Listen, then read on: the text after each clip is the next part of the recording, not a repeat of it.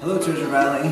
It's Dr. Crump at Boise Family Dental Care, and we just wanted to remind you that Sunday, April 24th, is the last day you get to vote for the Idaho Statesman's Best of the Treasure Valley. So get on, support your local businesses, and vote for all your favorites.